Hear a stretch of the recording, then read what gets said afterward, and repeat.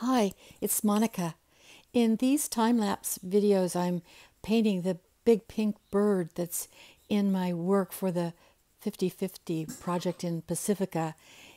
The bird was inspired by a house finch nest right outside of my studio. It doesn't show, but I use photographs and I have my iPad next to me. I've had a good time taking pictures right in my backyard of things I don't usually notice. Making this is just putting paint on, taking it off, but mostly it's just being there.